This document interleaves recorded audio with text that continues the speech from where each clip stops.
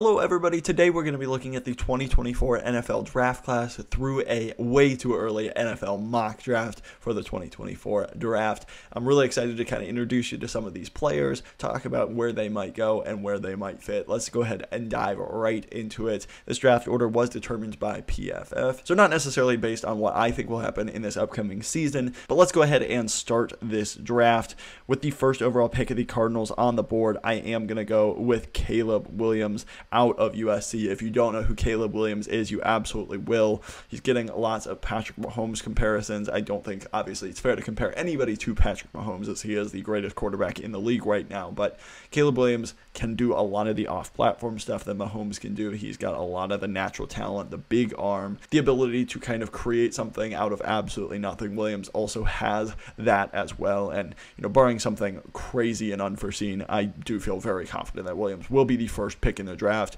for the Cardinals, maybe it is time to move on from Kyler Murray. That contract is big. Murray has, you know, not been healthy this past year or so. I do think that ultimately, if they are picking first, this is very likely to happen. At number two, the Arizona Cardinals back on the clock due to the Texans trading up with them for Will Anderson this year. In this case, I do think they will go with Marvin Harrison Jr., the wide receiver from Ohio State. Obviously, his dad, the Colts legend and Hall of Famer. So, you know, Marvin Harrison has good bloodlines, but he is not just good because of the name. He is six foot four. He's taller than his dad. He's still got the route running, the ability at the catch point. He's just insane. And I definitely think he is one of the best wide receivers we've seen since Ja'Marr Chase and, you know, he's very much on the same level, I think, of that kind of player. So Marvin Harrison, just a fantastic prospect. I think in a class with no dominant quarterback, he could go number one overall. That's not the case here, but he is just a fantastic player. For the Tampa Bay Buccaneers up next, third overall, I am going to have them going with Drake Maye. Drake Maye has gotten some Justin Herbert comparisons. He's got a big arm. He's got really the ability to make all of the throws in the world. I do think that he is, you know, a little bit inconsistent here and there at times, but he's got some good mobility. Not saying he's going to be Justin Herbert at all, but I do understand where that comparison comes from. And, you know, ultimately, I wouldn't be surprised if he is a top three pick just because of those fantastic traits. For the Colts at number four, I am going to go with Olu Fashanu, the tackle from Penn State. Likely would have been the first tackle off the board this year, him or Paris Johnson. Fashanu just has great athletic ability. He's young, he's really talented, and you know I definitely think that he could have come out and been a top 10 pick this year. So, you know, if he's even able to get better, that absolutely could be a top five pick. And Fashanu is somebody that, you know, is going to go very high. I think he's the favorite to be offensive tackle one, although there are some good offensive tackles in this class. But for the Colts, Fashanu makes a lot of sense. Just really kind of solidify that left tackle spot if Raymond is not able to really dominate there. For the Commanders, I am going to go with an edge rusher. That's going to be Dallas Turner out of Alabama. Turner had eight eight and a half sacks as a true freshman. Had just four last year, but the talent is absolutely there. I think with Will Anderson being there, Turner hasn't received some of the attention that he perhaps deserves, but he is a fantastic player. And, you know, I definitely think for the Commanders, who might be losing both Chase Young and Sweat due to free agency this upcoming year, edge rusher makes a lot of sense to attack that position, and Dallas Turner might just be the best of the group. For the Packers up next, I don't necessarily think they will be picking this high, but if they do, I think Joe Alt makes a lot of sense out of Notre Dame. You know, used to play tight end, really, really good at the offensive tackle position. He's athletic, he's got the size and everything that you look for there. For the Packers, Bakhtiari really hasn't been able to stay healthy, and, you know, there's still just that issue that continues to loom on the left tackle spot on the offensive line. Alt could really solve that and be a great player for the Packers. At number seven, the Raiders on the clock. I'm going to have them going with Kool Aid McKinstry the corner from Alabama. You know, one of the coolest names in the draft, absolutely. But you know, he's also probably the best corner in the draft as well. Has all the traits you look for. Had a very productive season, 15 passes defended and an interception in 2022. For the Raiders, you know, you have Nate Hobbs, but you need some help at that outside corner position. Kool-Aid McKinstry could absolutely provide that, and I think that he would be a very good fit for what the Raiders need as the first cornerback off the board. For the Tennessee Titans up next, I'm going to have them going with Jared Verse. Verse was another player that a lot of people thought was going to declare for the draft this year in 2023 ended up going back to school. You know, he was a transfer from Albany, decided to go to Florida State and was very productive in his first season, had nine sacks. A lot of people got around to watching his film and they had him listed as, you know, a top 10 to 15 pick, and I absolutely think he could be that kind of player again this year for Florida State. I really liked him, and I definitely think for the Titans, they need to get stronger in the trenches. They have lost some of the edge rushers over the years, Bud Dupree and some of their other guys as well. So I think adding to that mix with a talented player like Jared Verse would make a lot of sense for them at number eight. For the Rams at number nine, bit of an unconventional pick, but I'm going to go with Brock Bowers, the tight end out of Georgia.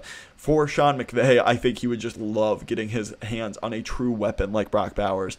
He's a little bit unique. He's the best tight end prospect since Kyle Pitts easily. But with Bowers, he's really dominant with the ball in his hands. He's a great YAC weapon. Had 942 yards, seven touchdowns uh, receiving, as well as having 109 yards rushing. They would run him on end arounds, get the ball in his hand, and just let him be a true playmaker.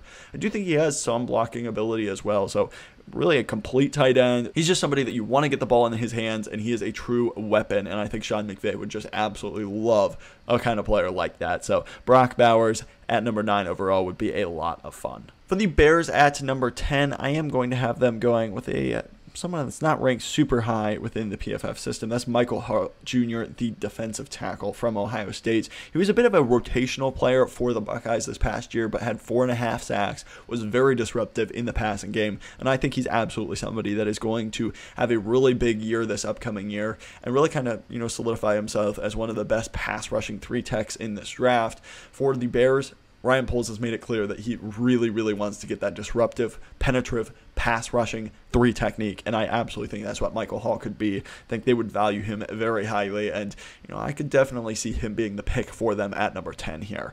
Additionally, for the Bears, they need help on that defensive front. Obviously, picking Hall, you already have Pickens, Gervon Dexter, who you drafted as well, but they need help at that edge rusher position. I think JT Tuimoloau from Ohio State as well, getting those two teammates there. Tuimoloau was a very highly regarded prospect. You know, he isn't very consistent at this point. He absolutely destroyed Penn State in their game, but just needs to be a bit more consistent on a game-to-game basis. I do expect his talent to really shine through this year on a very talented Ohio State defensive line, and I think the Bears could pair those two teammates together and really, really help that defensive line for them that needs to get a lot stronger. For the Patriots, I'm going to have them going with J.C. Latham, the tackle from Alabama. He plays right tackle for them. He's very well built. He's six foot six, 335 pounds. He's a very good pass protector, good mauler as well in the running game. I just think he's a complete right tackle and somebody the Patriots could absolutely use. The Patriots haven't really gotten consistent tackle play. You know, Isaiah Wynn now gone, Trent Brown getting older as well. So Latham would really just kind of bring some new life into that position and you know, I think would be a really good player for them. For the Falcons, I do think that there is a good chance they do take a quarterback here. There's some interesting options. Michael Penix, Bo Nix, Quinn Ewers, JJ McCarthy, maybe even Spencer Rattler.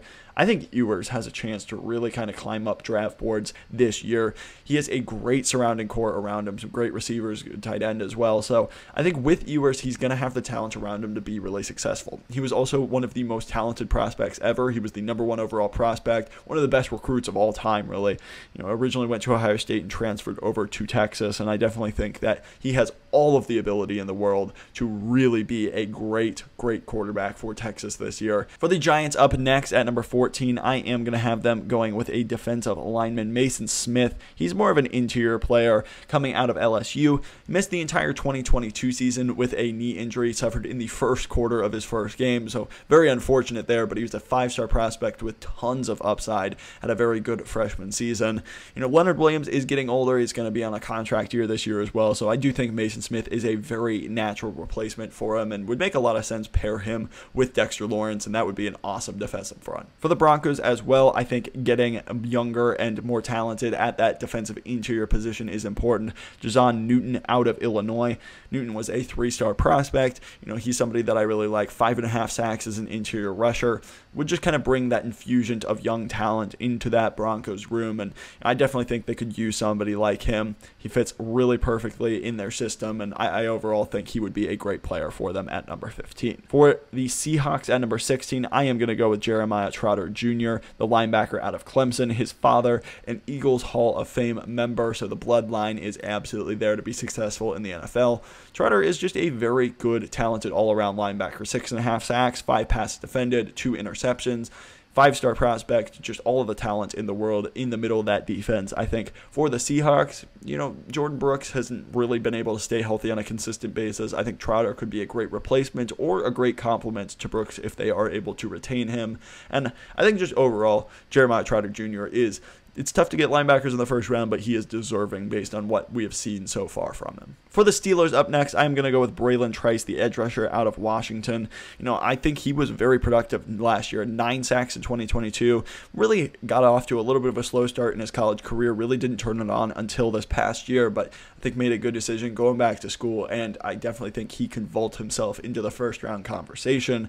For the Steelers, I do think they always like investing in the trenches. You know, at that edge rusher position, you obviously have Watt. Highsmith, you might not be able to retain long term. Maybe he gets a deal as a number one edge rusher somewhere. So I think Trice could be just a great rotational, perhaps that number two edge rusher to bring in and be a really good player for the Steelers as well. For the Vikings, I am going to go with another Washington Husky, this time quarterback Michael Penix Jr. out of Washington.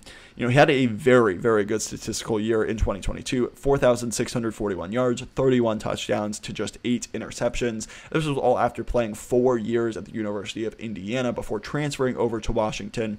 That does mean that he is going into his sixth season. He is already 23 years old, and that's absolutely going to be a topic for his draft profile in this draft class. But I think overall, he is a very good player if he puts together another strong season. He's got good arm, some really nice traits that you look for. And for the Vikings, you know, they need to draft the heir apparent for Kirk Cousins at some point. I think Penix makes a lot of sense to go ahead and, you know, take the swing on him there in the middle of this first round. For the Texans up next, I am going to go with a wide receiver to help out CJ Stroud. It's going to be Johnny Wilson, though, out of Florida State. With Johnny Wilson, he is a bit of an incomplete player, but man, does he have some great tools. He's six foot seven, 230 pounds, basically a tight end that just plays at the wide receiver position. He has insane ball skills, a great vertical threat, red zone threat as well had about 900 yards and five touchdowns in 2022. So the talent's absolutely there. He was putting up some productive numbers, and he has just got a unique skill set. For the Texans, you've got Tank Dell, you've got John Metchie, you got some smaller receivers. I think that Johnny Wilson just brings a new element to that offense, some real size to give to CJ Stroud. For the New Orleans Saints, I am going to go with Emeka Egbuka, the wide receiver out of Ohio State. Could have paired him with CJ Stroud, but I do think that Wilson was a fun fit for the Texans there. For the Saints, Abuga, you know, they tend to really like Ohio State wide receivers. Michael Thomas, Chris Olave, and now Emeka Egbuka as well. Michael Thomas, I just don't think is a long-term option for this team at this point. And behind Olave, there's just not a whole lot else. So I think getting another wide receiver for Derek Carr, whoever the quarterback is going into this next season, it's going to be very helpful for him. So I think that you know drafting a wide receiver from Ohio State makes a lot of sense for the Saints, and you know overall the talent that fits that draft selection as well. So I like that pick for the Saints at number 20. Moving on to number 21, we have the Dolphins on the clock. Kingsley Suamataia, the offensive tackle out of BYU, six foot six, 315 pounds, went to Oregon originally, transferred to BYU before the 2022 season, and had a very, very good year. For the Dolphins, Austin Jackson really hasn't been great. Terron Armstead just hasn't been consistently healthy, has dealt with injuries his entire career. And so getting a nice, talented former five star offensive tackle makes a lot of sense for the Dolphins. And I think overall, I think that would be a very good pick for them. For the Ravens up next, I'm going to go with Cooper DeJean, the corner from Iowa. He is kind of fits the mold of what they tend to like in that cornerback position. He's six foot one, 209 pounds, so a little bit bigger. He's physical, has ball skills as well. Had five interceptions in 2022. Had a lot of pick sixes as well over the course of his career. So very productive, willing to tackle, very physical as well. So just makes a lot of sense for what the Ravens need. Marlon Humphrey's a great corner, but you need to get him a complement, and I think Cooper DeJean could absolutely be that. For the Chargers up next, I'm gonna go with Calen Bullock, the safety from from USC.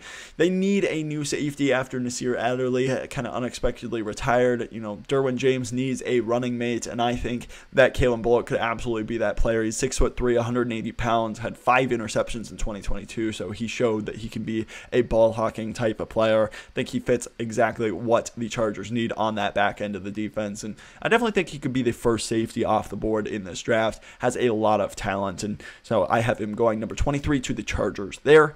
At number 24 for the Dallas Cowboys, I think they could add to that corner room. I am going to go with Denzel Burke, the corner from Ohio State. Started as a true freshman, obviously, you know, a lot of competition at Ohio State at that corner spot, but Burke has been a consistent playmaker for the past two years, going into his third year. Doesn't necessarily have a ton of ball production, had zero interceptions in 2022, but overall, I definitely think he has been a very strong player. If he can get a couple of picks, definitely think he could find himself in the first round of the 2024 draft. For the Packers up next, at number 25. This would be the Jets pick that's coming from the Aaron Rodgers trade, assuming he plays that certain amount of steps required. I'm going to have them going with Kalen King, the corner from Penn State. A lot of teams targeted Kalen King because they had Joey Porter Jr. to go up against on the other side of the field this past year. You know, because of that, King had 16 pass deflection, had three interceptions as well. He's a very good athlete, and I think that the Packers could use a running mate for Jaire Alexander. I like that pick a lot, and you know Penn State tends to churn out really good athletes. King is no exception to that, and I definitely think he will be a good player in the NFL. For the Lions up next, I do think they could add a wide receiver. Both these Texas guys still on the board. I'm going to go with Adonai Mitchell, the wide receiver from Texas. He was a transfer from Georgia, did miss nine games in 2022 due to injury, but I think with him, he just kind of projects a little bit more as a traditional X receiver. He's six foot four. He is 195 pounds, so he's a little bit light, but overall, I think he has a lot of the traits that you really look for. Adonai Mitchell, you know, I definitely think is going to be a big, big weapon for Quinn Ewers in this Texas offense in 2023, and I definitely think he is going to be a player to watch for this draft. For the Jaguars up next, they could add to the def- defensive interior. I think Leonard Taylor is a good player, former five-star prospect. You know, he can be disruptive. Six foot three, 305 pounds, had three sacks in 2022. Good run stuffer as well. So I think overall, you know, you've got Travon Walker, you've got Josh Allen. Go ahead, get yourself a dominant interior player, really make that defensive line a strength of the team, and Leonard Taylor could potentially be that kind of player for him. For the Buffalo Bills up next, I'm going to go with Laiatu Latu, the edge rusher from UCLA. He was a transfer originally from Washington, didn't really play a whole lot, transferred to UCLA, and put up great numbers in 2022, had 10 and a half sacks in kind of a rotational role at UCLA. So I'm excited to see what he can do really as a full-time starter with a draft spotlight on him. I definitely think he has the chance to really rise up draft board. So I think for the Bills, you know, Greg Rousseau is a good player. Boogie Basham hasn't done a whole lot for you. Von Miller is obviously coming off the injury and a bit older. So maybe Latu could provide some just pass rushing upside and really kind of be a specialist for them in that regard. For the Eagles, I do think they could also go with an edge rusher as Brandon Graham is getting a little bit older. Additionally, Sweat is on a contract year. So I do think that Jack Sawyer could be a really interesting pick for him. You know, a former five star prospect, really, really talented player. Hasn't really kind of turned it fully on at Ohio State, but I think he has a great chance to do so this year with that fantastic line around him. I definitely think that more one on one opportunities, he could be a great, great player for him this year. Four and a half sacks in 2022, and I definitely think that with a good season, he could sneak into the first round as well. For the 49ers, I think edge rusher is also a good possibility. I'm going to go with Chop Robinson out of Penn State. Chop Robinson was a transfer from Maryland, had five and a half sacks. Really like a lot of the traits that he brings. Once again, Penn State just churns out good athletes, and I think Chop Robinson it will absolutely be that. For the 49ers, you know, you've got Nick Bosa, but I do think they could add a complementary rusher to him on the outside, and Chop Robinson could be a very interesting player for him there. For the Bengals up next, I do think they could look at tight end Ja'Tavion Sanders, another Texas Longhorn. Sanders was a athlete coming out of high school. You know, he's six foot four, 241 pounds, had 613 yards and five touchdowns at that position last year. I think he has a nice connection with Quinn Ewers. His teammates seem to speak very highly of him as well. So I do think that Ja'Tavion Sanders makes a lot of sense for the Bengals. You've got Irv Smith on a one-year deal, but nothing really in the long-term plans at that position. Sanders could make a lot of sense. Then for the Kansas City Chiefs, I am going to go back to the Texas Longhorn well here and take Xavier Worthy. He is a bit smaller. He's six foot one, 164 pounds. You know that's unlikely to make him a true X receiver, but had 790 yards and nine touchdowns in 2022. Definitely think that he is a great player, and I think Texas you know, is has a great chance to be a very, very good team this upcoming year. That's going to do it for our 2024 NFL way too early mock draft. Thank you so much for watching. Let me know who you're excited to watch this upcoming season. If you like NFL and NFL draft content just like this, please hit that subscribe button down below. Just trying to grow this community to 1,000 subscribers by the beginning of the 2023 football season and would truly appreciate your support. While you are down there, please hit that like button as well. Just a free and easy way to support my channel. Really push this out to other draft fans just like you. Thank you so much for watching. I hope you have a great rest of your day. I'll catch you in the next one.